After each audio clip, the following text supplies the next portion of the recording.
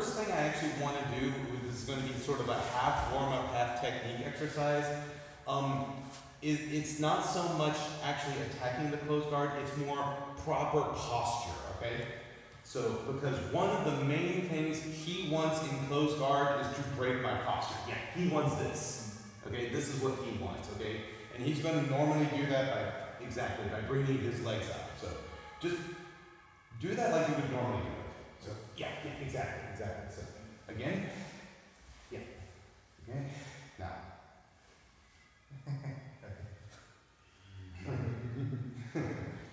yeah, go, no, go ahead, put power in. No, no, no, no, no.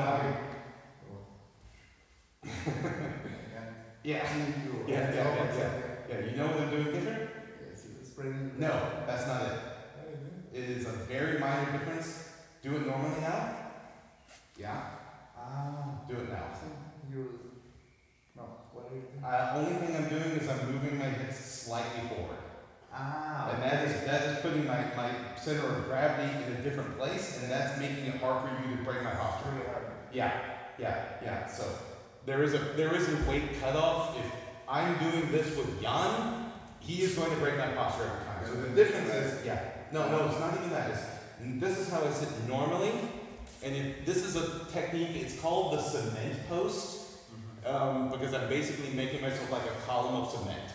Um, so, and normally when people are sitting in guard, they're sitting like this. All I'm doing is this. It's hard to see on the camera. I am just basically rotating instead of having my my my butt kind of moving back like I would normally have when I'm sitting. I'm just moving my my butt forward. I'm not doing this. Okay, my my shoulders and upper body are staying where they are. I'm just moving my hips a little bit forward. It's a very small movement and it makes a huge difference. Okay, so so that you can see it with someone else. So, no, same thing. You can put me in close guard. No, no, put me in close guard. okay, yeah, okay. So, uh, break my posture. Just no, no, no. Yeah, yeah, exactly, exactly. Just, just all your force. Yeah, yeah, yeah. Okay, that felt- feel easy. Easy. Okay, do it again. Yeah. Okay, do it now. Yeah, it's not impossible. There is a weight cutoff. I mean, again, if the big Jan does this to me, I, this breaks down. So, so if you're like 60 kilos heavier than the guy you're fighting, this starts to break down. But th- and what this does is two things because let's say about 80% of his attacks in the close guard involve breaking me and bringing me here. So now we can start attacking arm bars, sweeps, triangles. This is where most of his attacks are. If I'm like this, he has actually switch. So you know what I'm going working on here. So and if so if I'm like this and he can't break me, he only has one attack now, and that is to come up for a guard sweep. Yeah, it's this yeah, exactly. That's his only attack now which makes him predictable. Because I know, because if I know I don't have to deal with everything here, all I have to deal with is him coming up for a guard sweep. Try to do it. No, no. All I have to do is that. if I can just stop him from getting up, I, I just have to boom, and he can't get up, and I don't, I don't get swept anymore. So that's the first thing. Is not so much a technique. It's just being stable in the guard and reducing the number of threats. Because if you're thinking about, oh god, armbar, sweep, triangle, oh, oh, oh, then you start to get overwhelmed, you start to panic, and you're like, oh god, and that's where you make a mistake, and that's where he gets a technique more easily. But if I reduce everything that he can do down to just one thing, I know what's coming now. I only have to do that one block, and I'm done. And it's an easy thing to block. I'll, I don't even have to, again, if he does that, I don't even have to like, push him back down. All I have to do is come up. I just have to do that. Mm-hmm. And after a while of him trying to do that, his abs are going to get tired. okay? So that's the first thing we're going to practice actually is just this cement post posture. Mm-hmm. Is how to be stable in the close guard. Okay?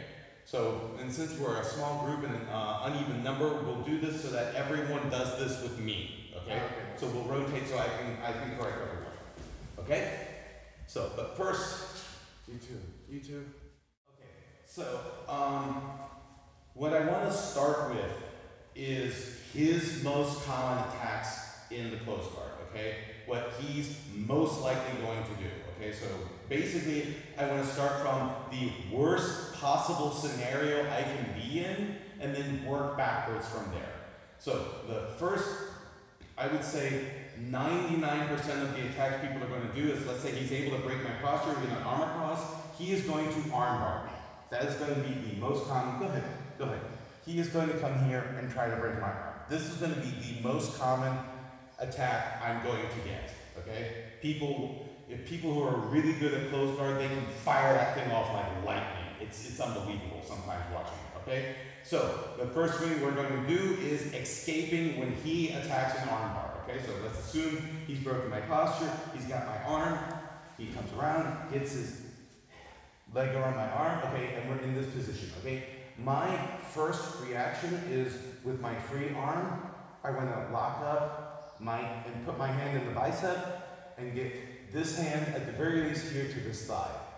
Then with this leg, I want to pressure into him, okay? Because the worst thing for me is he if he's is if he is able to fully extend his body. Okay? So this is the first thing I need to do. This is protecting my arm. From here, I take this hand, I want to pummel it inside. Not yet, but I'm very close, yes. I want to pummel it inside and onto this leg. And from here, the minute I can get the elbow of this arm out, my arm is safe. So I just want to. Go, go ahead. So, so what I'm going to do is basically, I've got now I've got my elbow out, and I'm safe. And while we're here, I am now in the perfect position to get past his guard. So I'm going to just basically bring my elbow here, put his legs to the side, and now we can pass his leg. Okay? That's the second reason I think it's really important to have counters to the most common attacks because the best chance for me to pass his guard is right after I escape the submission. Um, for two reasons. Um, one, it's just honestly, the escape armbar is just a bad position for him. I mean, you saw the way he was stacked on his head and everything, and just kind of, uh, that's just not a very mobile position for him. Two, um, and I've done this at tournaments, that oh shit reaction right after you got out of something that he thought he was going to win, there is that sort of second of shock, like, oh god, what do I do? Um, there's a there's a one of my videos uh, on my YouTube channel is one of my fights at Naga once. Someone was going for an uh, for a, a Kimura on me, and I had been practicing a lot of Kimura escape, so I wasn't worried. So I immediately twisted out, twisted down, got into the ladder and started passing the guy's guard, and he, he was just looking at me like, what the fuck just happened? he just had this look on his face like, I thought I was winning! So, so that's why that is the perfect position. The minute you get into that, I've just escaped the submission, you want to immediately fire off an attack because that is the best time to attack someone. Okay? So, showing that one again. Okay, so again, we're assuming worst case scenario, he's broken my posture, got his, okay, first things first. My hand goes in my bicep and this hand comes up. This is my first protection so that if he starts trying to extend the arm, yeah, yeah, go ahead and put some power on it, it's okay. Mm-hmm. Yeah. I mean, it's not permanent. This is his whole body against just my arms. If he puts all of his power into this, it will break my grip, but it buys me time. Then, with this foot, I start stacking so that his knees go over his head.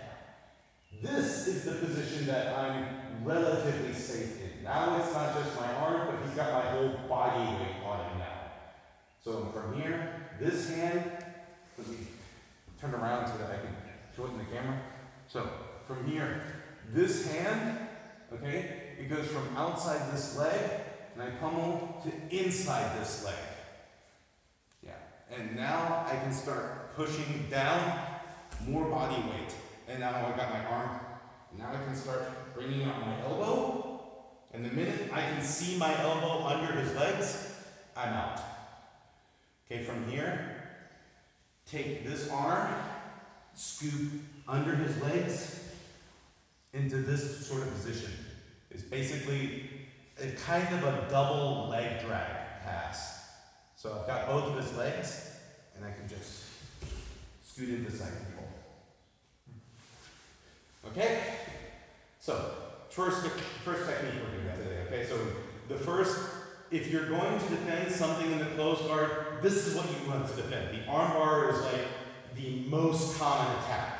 The second one would be the triangle, but the first one is the armbar. You have to have an armbar defense, okay? So, same idea, everyone practices with me.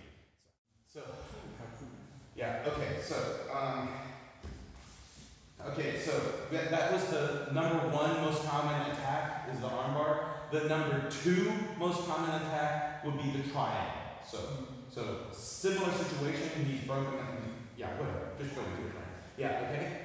So, um, and here I'm in what's often called in jujitsu a situation of double trouble, because from here he can attack both my arm and my choke, okay? So my first priority is to get my arm up and protect it from an armbar. So that he can't do the triangle armbar because if I have to defend two things, that makes my my work my job harder. Okay?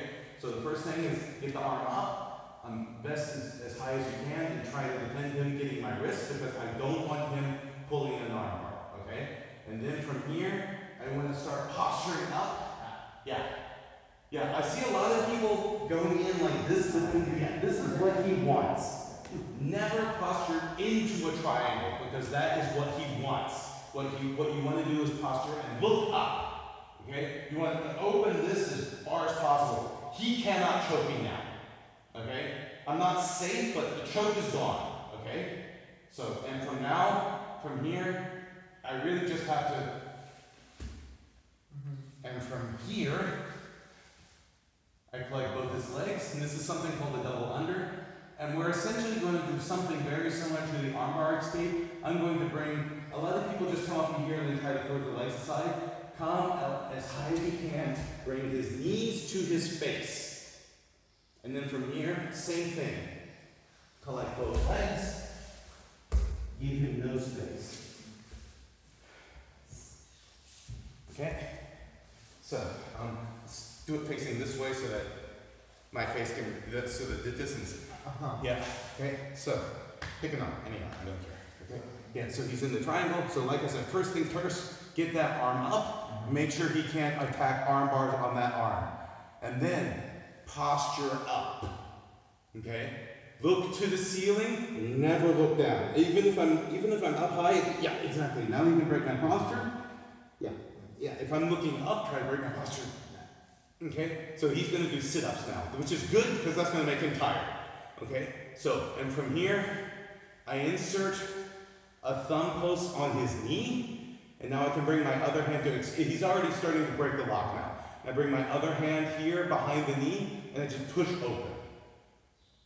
Okay, now I'm out of the lock, and I bring both my arms under his legs. That's where the name double under comes from, because I am under both legs, a double under. And now, really important, don't just throw the legs aside. It's a mistake a lot of people do. If I'm in the heat of the moment, sometimes I do it too. Bring his knees into his face. And very important, you can't see it, is bring this knee to his armpit. If I just come up here, most people will start to post. No, on my hips, on my hips. Ah. Th- That's, those are my knees, hips, hips, hips, hips. Yeah, and now, now this makes getting into my pass really hard. Mm-hmm. Okay? If I bring my knee into his shoulder, not try to post. Yeah, exactly. I block this arm. Now he can't really post. I can even bring that elbow to across his chest. And now we get my pads.